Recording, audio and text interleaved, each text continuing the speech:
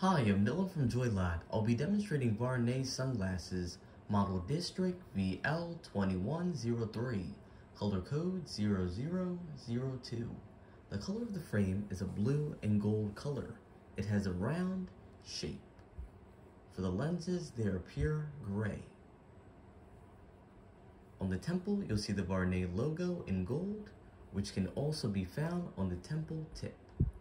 And it's made in France.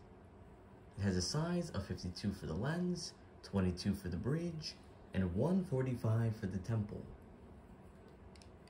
It comes with a gift box, which color and style may vary, a case, and a cleaning cloth. Thank you for watching and have a joyful day.